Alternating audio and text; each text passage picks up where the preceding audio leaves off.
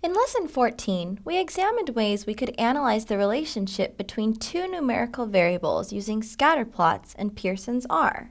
Remember that R is a measure of the strength of the relationship and looks at how x and y vary together as opposed to how they each vary independently. We also noted that we can describe linear data using a straight line drawn through the middle of the data. In this lesson, we will discuss this straight line in more detail and explain why it's useful for describing linear relationships and making predictions.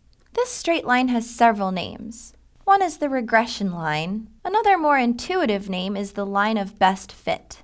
We care about the line of best fit because it helps us describe the data for one thing. In other words, we can describe the patterns shown by the data. This line makes it easier to see the relationship between x and y. In this lesson, we'll only focus on linear relationships, meaning relationships that follow a linear trend in one direction.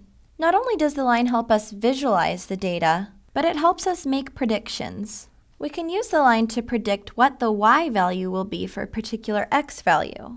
By knowing the equation, we can plug in this x value, say x star, and find the corresponding y value, y star.